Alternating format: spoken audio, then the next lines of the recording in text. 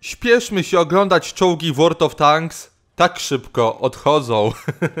Moi drodzy, witam was serdecznie w kolejnym odcinku z serii Wasze epickie bitwy i dziś mam dla was fantastyczną rundę na francuskim AMX-ie LC.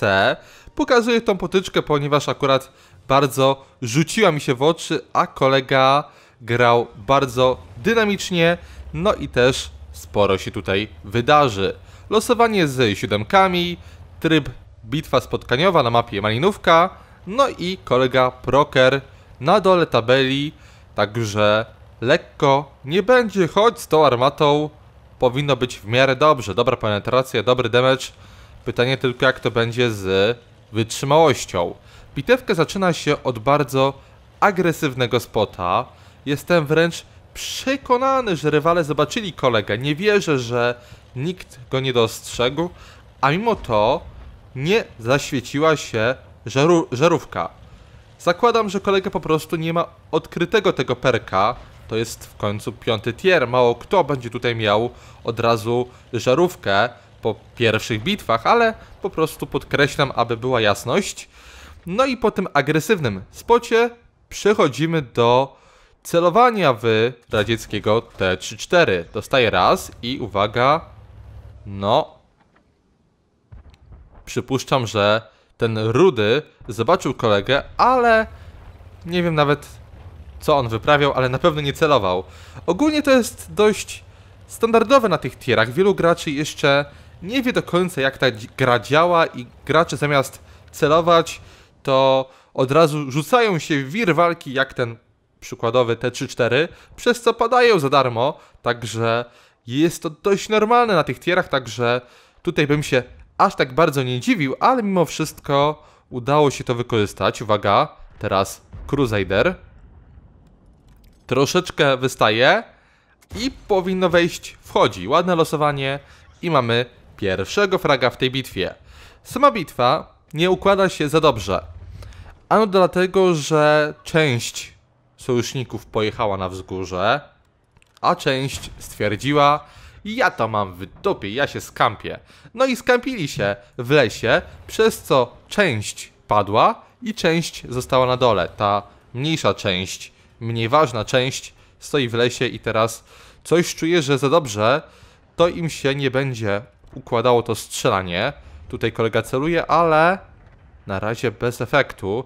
Strasznie duży celownik. Nie wiem, czy kolega ma właśnie nawet wyposażenie, czyli wentylację, dosyłacz. Bo tak patrzę, że naprawdę strasznie słabo to wygląda i ten celownik jest chyba za duży. No wiecie, to jest tak, że nie każdy gracz ma nie wiadomo ile bitew na tym pojeździe. Niektórzy nim po prostu grają, bo próbują zdobyć kolejne pojazdy w tej linii, prawda? Więc też nie można mieć zbytnio pretensji. No i dobra, kolega będzie sobie tutaj wesoło snajpił, a ja przy okazji chcę powiedzieć o pewnej ciekawostce. Ja w tej bitwie używam XVM'a, ale uważajcie na nową wersję, bo są z nią ogromne problemy. Dostrzegłem gigantyczne spadki FPS-u, więc jeśli korzystacie z XVM'a i macie przypadek, że laguje wam grę, odinstalujcie to badziewie, bo naprawdę to, co ja wczoraj przychodziłem na streamie, takie lagi, to dawno czegoś takiego nie widziałem.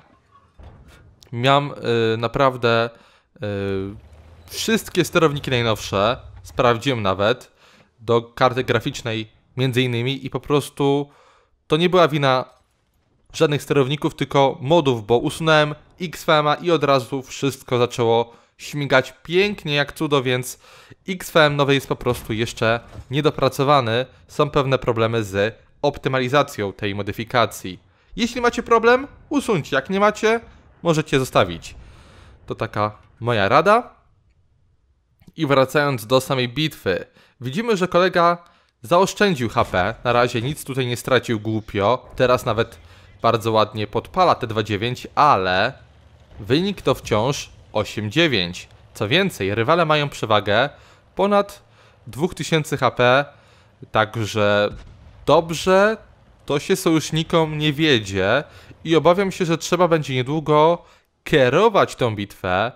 kierować, kierować, wyciągać ją y, spod takiej już, już, no, o, weszło. Wyciągać ją, bo naprawdę, zobaczcie, na bazie zostały dwa pojazdy, teraz padną. Wcześniej czołgi, które były pod wzgórzem również zagrały bardzo słabo i teraz jeszcze rudy pada. Z każdą minutą coraz gorzej, z każdą minutą coraz gorzej. Teraz jeszcze pudło w Cromwella. Szkoda, bo to byłby ważny strzał. No a tak. Niestety, nic z interesu. Nici z interesu. 2000 HP yy, było przecież jeszcze parę sekund temu. Zobaczcie, jak łatwo sojusznicy tracą HP, jak głupio to robią.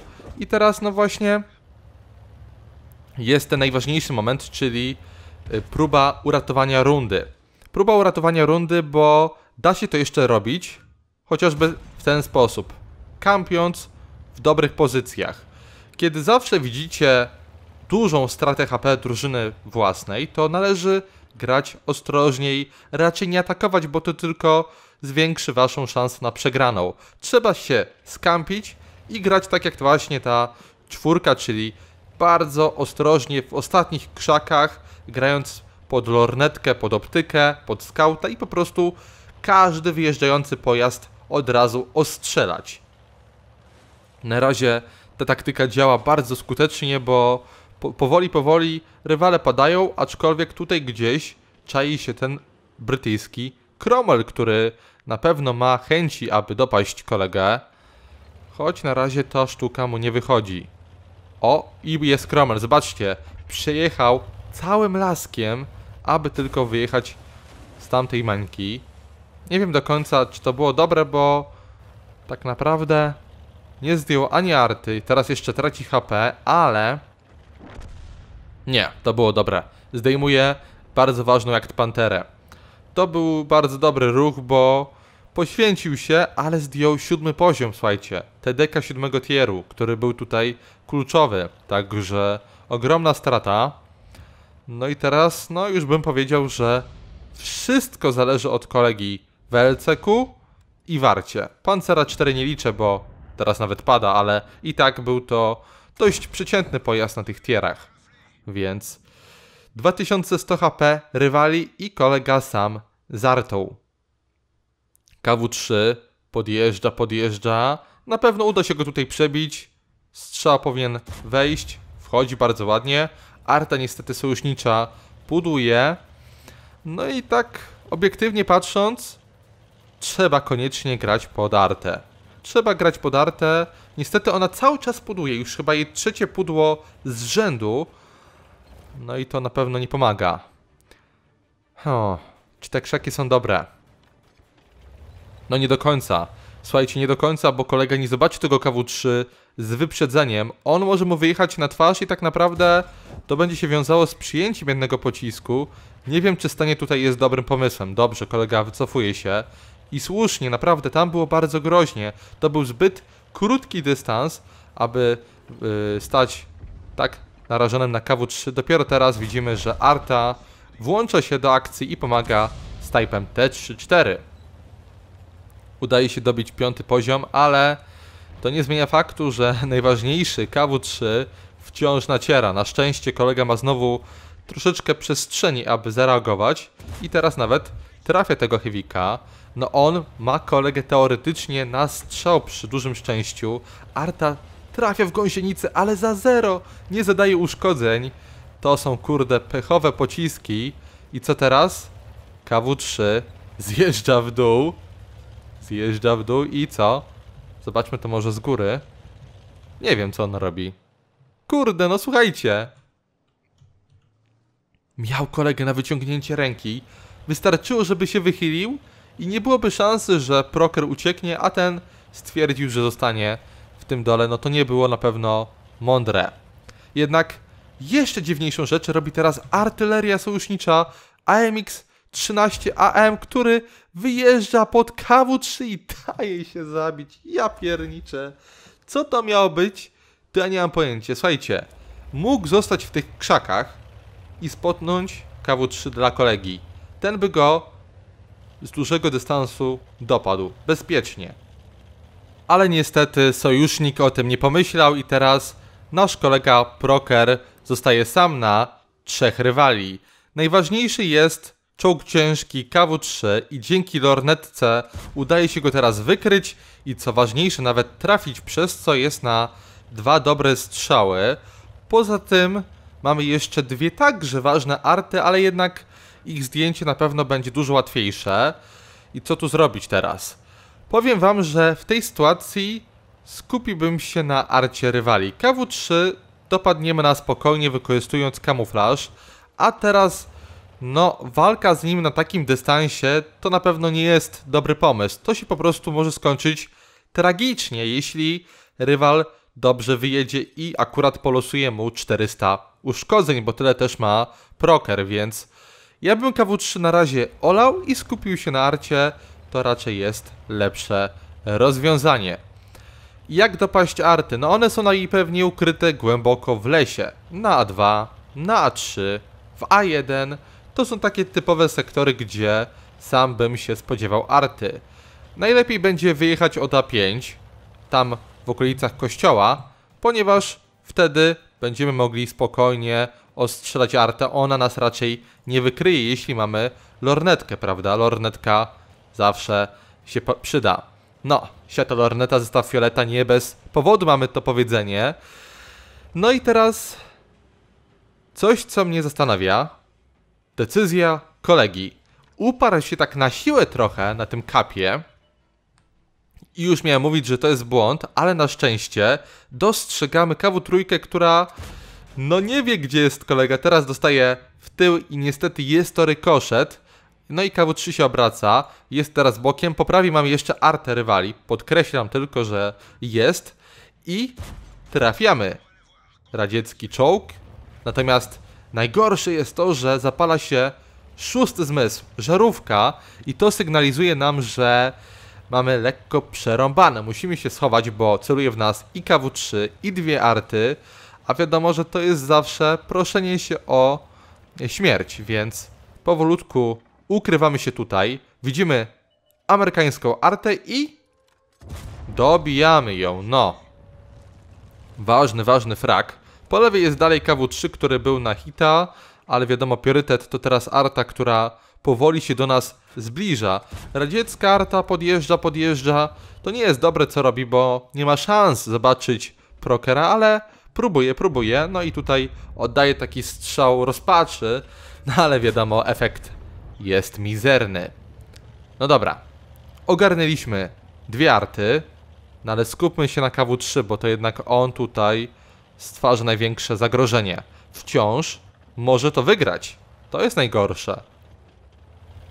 Jeden głupi wyjazd, jeden błąd i będzie po nas. Na początek warto byłoby go dostrzec. Congrats on Radley Walters. No tak, medal medalem, ale słuchajcie, kolega teraz na bank nie przejmuje się jakimś medalem.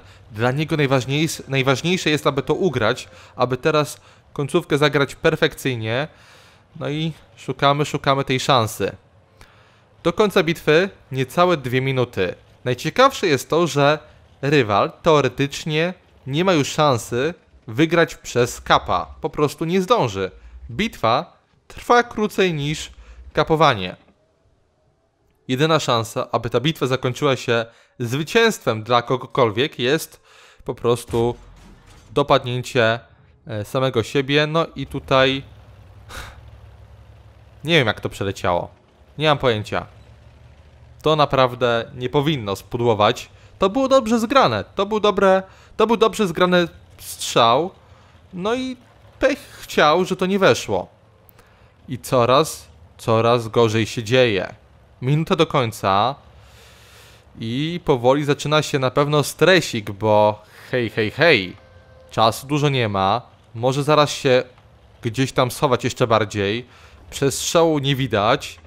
A sekundy mijają. Minęło kolejne 10 sekund. Widzimy, że przestrzał jest bardzo słaby.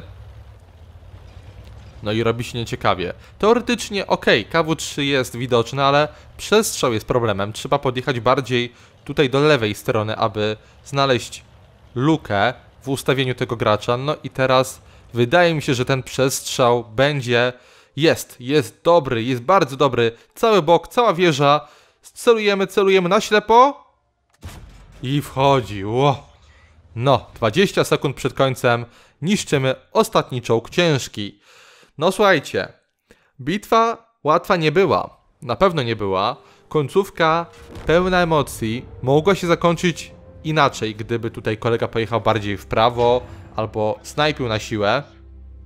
Bardzo ważne było to, że pojechał akurat w to miejsce, bo dzięki temu miał KW trójkę bokiem, a potem jeszcze tyłem, więc idealny przestrzał i łatwy cel, prawda? Od przodu zawsze to jest duże ryzyko, aby strzelać w KW3 nawet z Golda, choć Golda już tutaj nie było. Także bardzo fajna końcówka, dobre decyzje, no i też, co by nie mówić, pełno błędów rywali, ale także, ale także i sojuszników, którzy również tutaj swoje pokazali, więc to tyle. Zobaczmy wynik. Wpadła odznaka mistrzowska, poza tym medal Orlika, Radleya Waltersa, służba patrolowa, zwiadowca, obrońca, czołgista snajper, duży kaliber i specjalista. Trochę tego jest, ale najciekawsze jest to 2422 bazowego expa, totalna masakra, 4185 damage'a, 8 fragów, no i także sporo damage'a po asyście. No słuchajcie, taki bazowy exp to jest według mnie kosmos. Więc, no nic, tylko pogratulować koledze. No i oczywiście mam nadzieję, że runda Wam się podobała. Zachęcam do oceniania odcinka, łapki w górę, łapki w dół. No i słyszymy się już niedługo. Na razie, cześć!